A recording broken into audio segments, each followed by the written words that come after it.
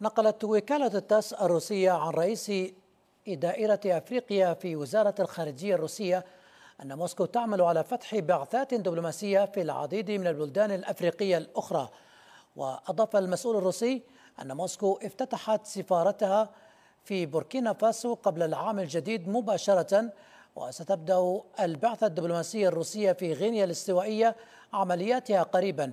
هناك عدة بعثات أخرى في الطريق سيتم الإعلان عنها عند الانتهاء من الترتيبات. قال المبعوث الخاص للرئيس الفرنسي إلى أفريقيا جان ماري بوكيل إن مهمة باريس تتمثل حاليا في تجديد العلاقات مع الدول الأفريقية وبناء صورة مغايرة. وأوضح المبعوث الخاص إن أفريقيا الفرنسية قد أصبح شيئا من الماضي تماما وأن اعتبار غير ذلك يعني العمى والكذب على حد وصفه. نهم الثروات والفشل الأمني. لهذه الأسباب تطرد فرنسا من أفريقيا. خسارتها بدأت منذ سنوات. أما عام 2023 فكان التدهور الأكبر لها. بعد إعلان نهاية عملية برخان في مالي شهر أغسطس 2022 حولت باريس مركز عملياتها في منطقة الساحل إلى النيجر التي لم تكن في السابق أكثر من محطة إمداد ودعم لقاعدتها العسكرية في مالي. لكن تاريخ السادس والعشرين من أغسطس كان له حديث آخر.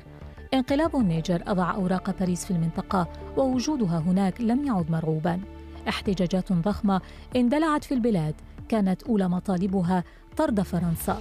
غادر سفير باريس العاصمة نيامي وأنهى فصولا من فصول الخلاف مع المجلس العسكري.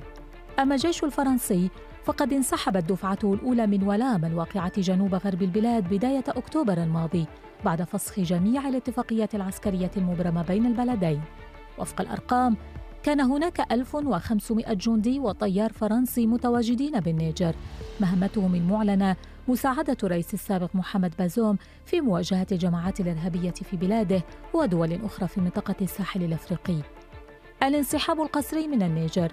جاء بعدما أصيبت فرنسا بخيبات عسكرية ودبلوماسية في مالي وقبلها بوركينا فاسو. هذه الأخيرة. أعلنت شهر فبراير الانتهاء الرسمي لعملية قوة سابر الفرنسية العسكرية على أراضيها. تنفيذا لقرار السلطات البوركينية إنهاء اتفاقية التعاون العسكري مع باريس.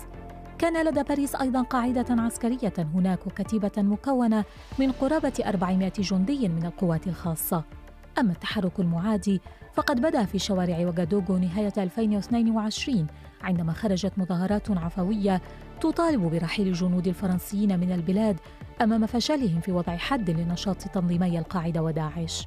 تقول بعض الدراسات إن ما حدث لفرنسا كان نتيجة حتمية لتراكمات سنوية خلت إذ بلغ عدد التدخلات العسكرية الفرنسية في القارة الأفريقية 37 تدخلاً.